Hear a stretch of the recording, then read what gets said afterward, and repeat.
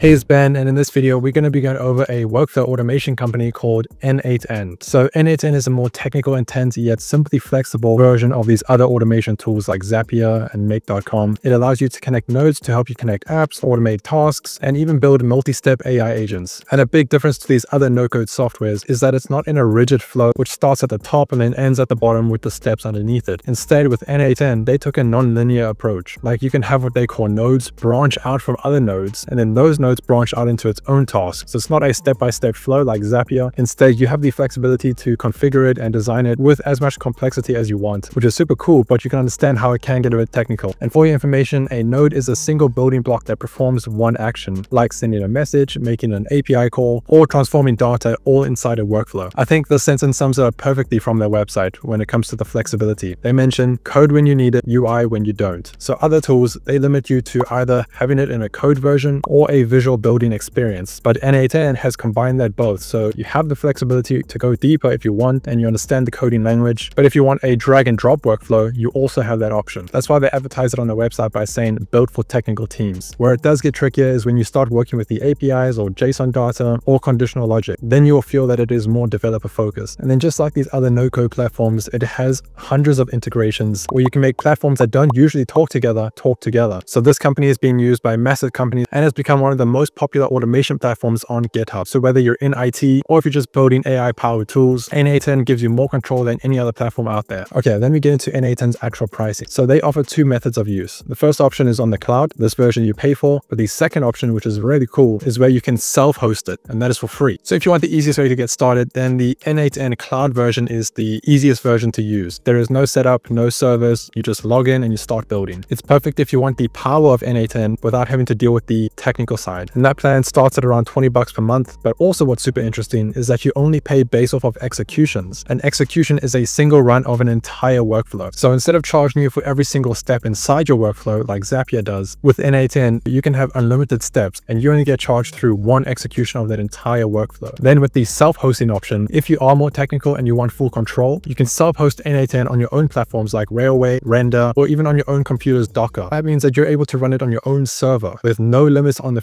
features or the usage. It is more for developers or tech teams or anybody who likes tinkering on automation. And what's super cool about this plan is that there is no charge from the N8N platform, not for executions, not for subscriptions. It does become your own private automation platform. So you may need to pay a couple bucks depending on whatever you're hosting it on, but the actual N8N company itself doesn't charge, which is pretty cool. So I'm going to jump in on the cloud version of the platform here. So currently I'm on the free trial, but once you sign up, it will ask you a couple questions to get to know why you're using that platform. And once you do that, you'll come into a page that looks like this. Then you have the option of creating a workflow. So I'm going to click on create and you'll see that this dashboard is already way more flexible just on the UI side than Zapier is or the other platforms. So if I click on add first step, you can see that I can pick from the triggers and on app event and on schedule, on webhook call, on form submission, when executed by another workflow, on chat message and other ways. So it's just different ways to start the execution of your workflow. So let's say I want to use Notion and I want to connect it to another page of Notion, maybe in a completely different workspace, or I just wanted to perform a task in the one and then it auto performs a task inside of Notion on a different page. So what I would do is just type in Notion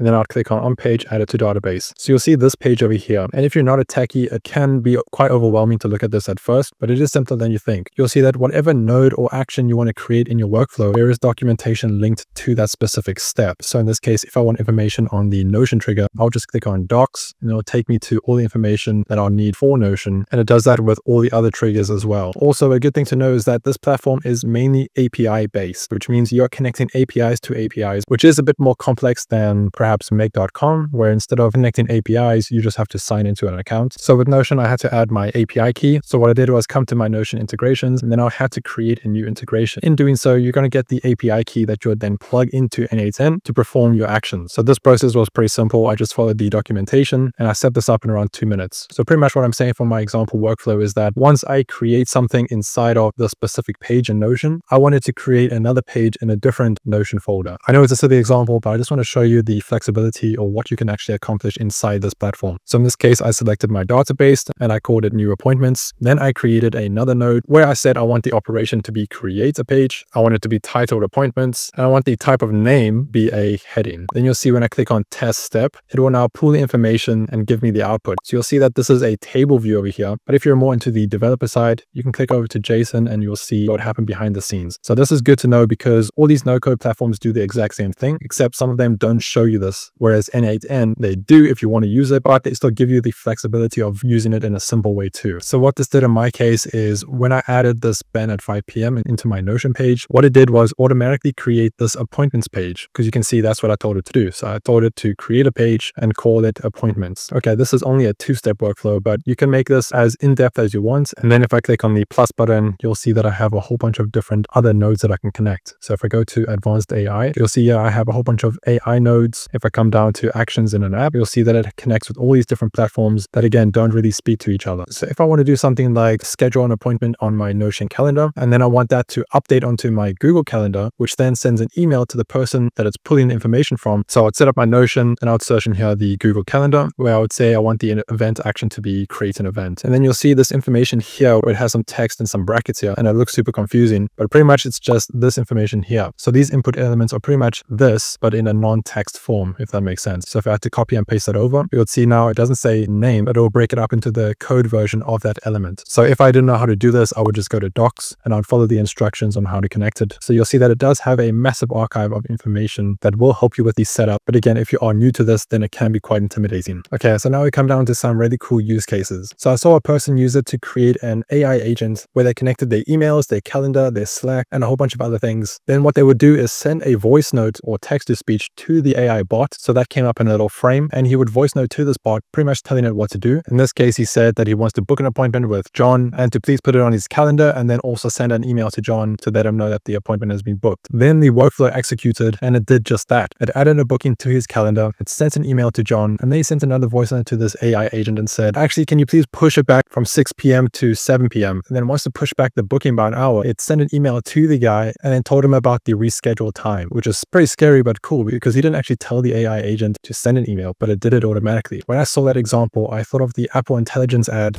Siri, what's the name of the guy I had a meeting with a couple of months ago at Cafe Grinnell? You met Zach Wingate at Cafe Grinnell.